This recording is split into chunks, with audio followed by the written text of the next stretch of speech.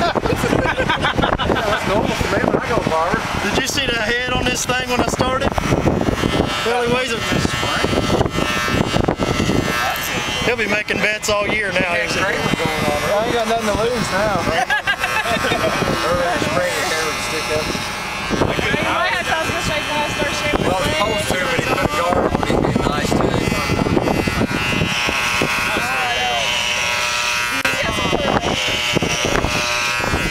I want to look good for a wife. Shorty pissed off back on. Amber's gonna be ticked. Cheese. My dad always said, don't. I thought, man, I'm, I'm screwed. I'm going to long hair. At some point in that game, you had to be thinking, man, he's so screwed. Not really.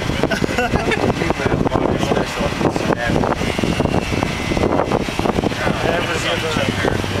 It's gonna be on YouTube, isn't it? Oh, yeah. What do you oh, think? Yeah, I hope. Send it to the Colts website.